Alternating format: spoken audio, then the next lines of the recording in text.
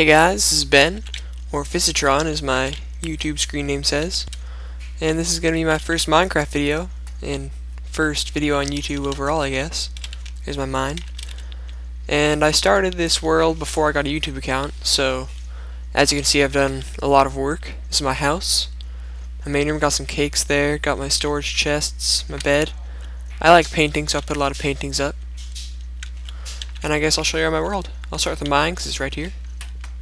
Pretty deep, got a nice water drop there.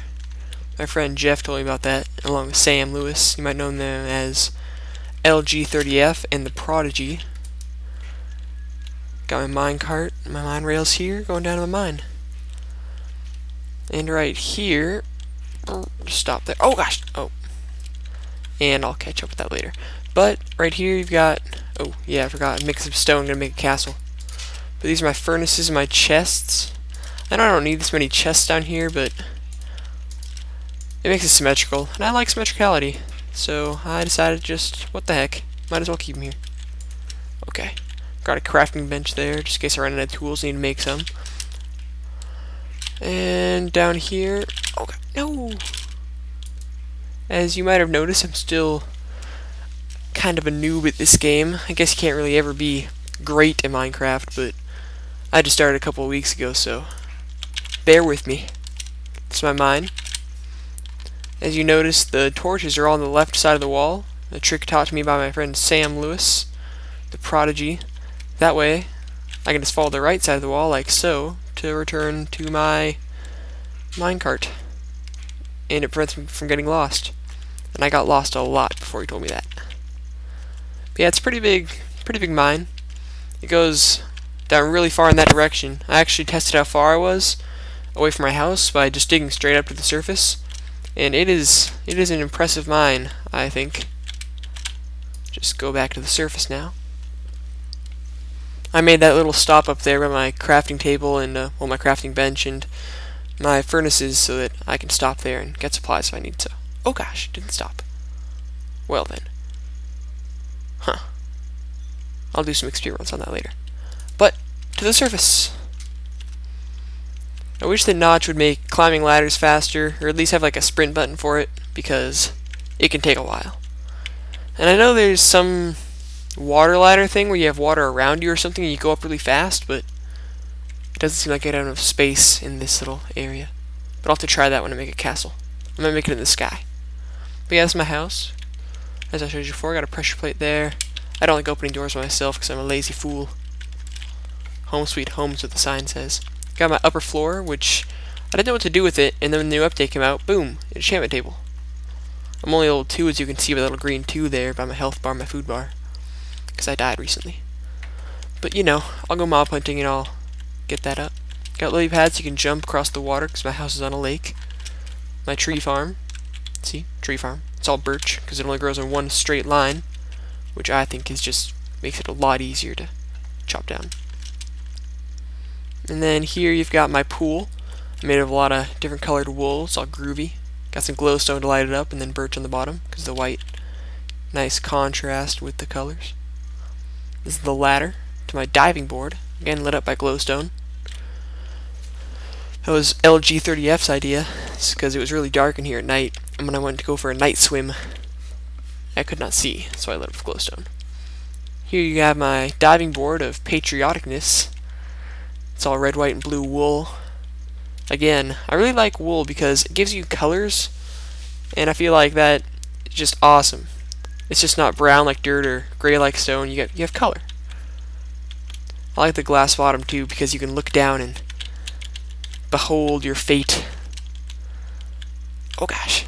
Boom! Perfect landing right in the center. Look at that. But yeah, I like the diving board. I mean, you can't really feel the thrill of it being a avatar, but you can get the general idea. And this is a staircase that goes to the rest of my world. I'm trying to get that ivy to grow down all the way like this so that it looks like a veil you're going through. Boom! Look at that. Pixel art. I like Mario. I like Minecraft. I like Star Wars. Pretty big nerd, I guess.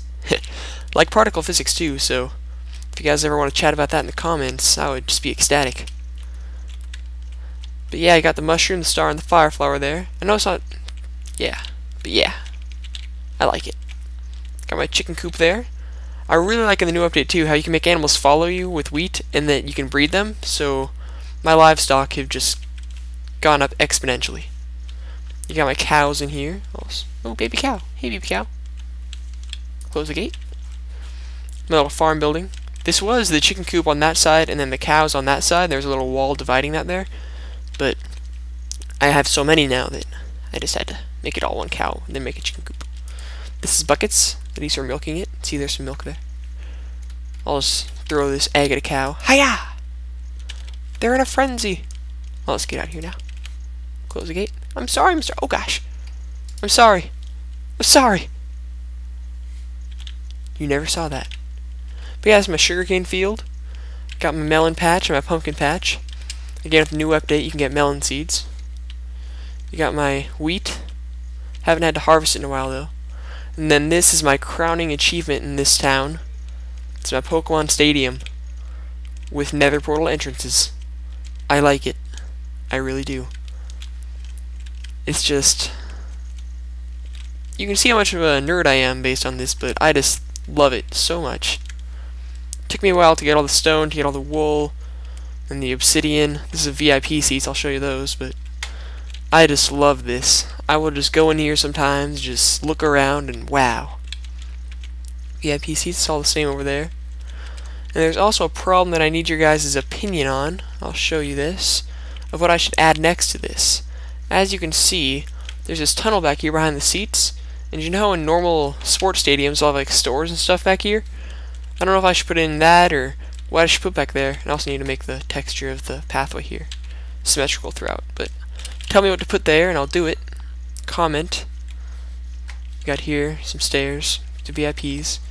Then this is an undeveloped part of my world. I might put the castle over here. That's not natural. I made that because I needed to get somewhere. But yeah. I'll, oh, I'll show you the greenhouse. See that up there with the giant mushrooms? It's my greenhouse. I really like the giant mushrooms. I think, they, I think they look cool. And I like how um, the new update, you can get enchantments from the enchantment table. And one of the enchantments is called Silk Touch, and it actually lets you mine the exact block. Like, you know, when you mine dirt, bam, the grass falls off. Well, with the Silk Touch enchantment, you can actually get the grass still on top of the dirt. So like that can make you have grass in the nether and stuff, which is pretty crazy. But yeah, giant mushrooms symmetrically placed throughout. You got your roses. I use a lot of bone meal here to make it look all foresty on the outside. Got your tree, your bushes, and then your patterns of roses and dandelions and some mushrooms. I actually made that tree by hand. Not a big feat, but, you know, just telling you it didn't grow perfectly like that. I just placed the wood and then use shears to get the grass or the leaves. And I've placed them. You may have noticed I'm peaceful right now, just to show you guys around. I won't be on later videos, but just to give you guys the gist of my town, I figured I would. And then the last but not least is the Sentinel Tower, which I will show you.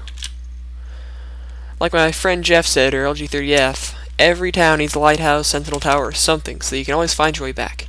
It lights it up at night, and... Because I used to get lost and I would go exploring in my world very beginning when I started playing Minecraft, and then I made that, and now I can just, I can just see it. So yeah, not very designed, but, you know, it's got a spiral staircase on the inside. I like that. My friend Hogan Olofsson, you might know him as the business skier if you watch any other Minecraft videos, helped me make my spiral staircase. And this platform used to look over and the sun set right there. But now it sets right there. The same direction the clouds move in, so that pissed me off, to say the least. Now this is just looking out nothing, I guess, but, you know. It's got netherrack, so when I explore that way, at least I can see that. But yeah. And my castle will be a lot cooler than this. This is just basically a tower. My castle will have a lot of design on it when I make that next. I'll make some videos about my quest to get the castle. But yeah, that's pretty much my world. Got the waterfall there to the pool. You can overlook my house from here. It's not very attractive. It's mostly just processed wood, but, you know, it's a starter house. Once I move away from this town and go somewhere else in this world, then I'll make a better house. I'll jump into the pool. Boom! I'll show you guys my viewing room for my waterfall. I don't know how much time has gone by, but I've gotta avoid getting over 15 minutes, or like 13 minutes, because that's how much Fraps will record before it separates the videos. I don't like combining videos. But yeah, I put torches behind the waterfall so that you can see it at night. It's all illuminated. I like torches a lot. I place them everywhere. But yeah, so please like my video and subscribe if you like my commentating. If not, just post some tips that I could use on how to be a better commentator. Subscribe, like, comment on anything you'd like me to do. And yeah, see you next time.